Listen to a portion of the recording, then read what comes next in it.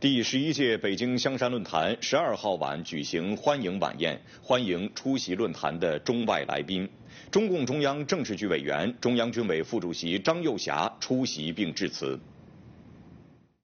张又侠指出，今年恰逢和平共处五项原则发表七十周年，在这个历史时刻，我们相聚北京，共商全球安全大计，共谋和平安宁良策。正如习近平主席强调的，加强团结合作，增进沟通理解，是各国共赢挑战、共创未来的有效途径。我们真诚希望与会各方秉持公道正义理念，展现开放包容胸襟，利用北京香山论坛这个合作有益的平台，在对话中增进了解，在交流中提升互信，碰撞出实现世界和平安全愿景的更多智慧。